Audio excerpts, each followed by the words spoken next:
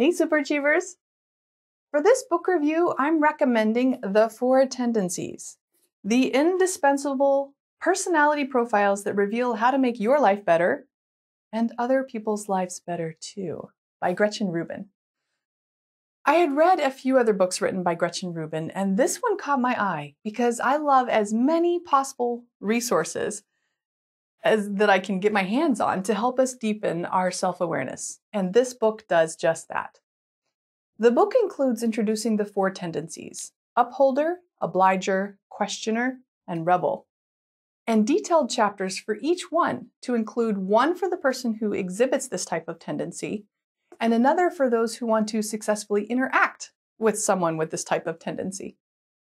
Now, the tendencies are based on your response to expectations you have of yourself and the expectations other have for, others have for you.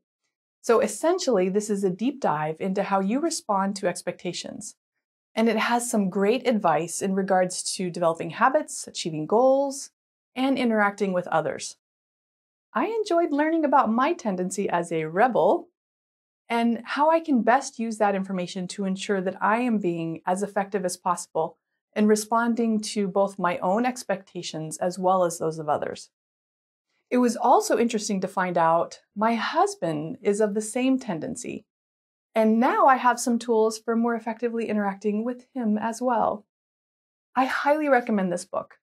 I also need to state that I am not paid to endorse it by the author or the publisher. I will, however, share my Amazon influencer link below in the event that you would like to purchase the book on Amazon.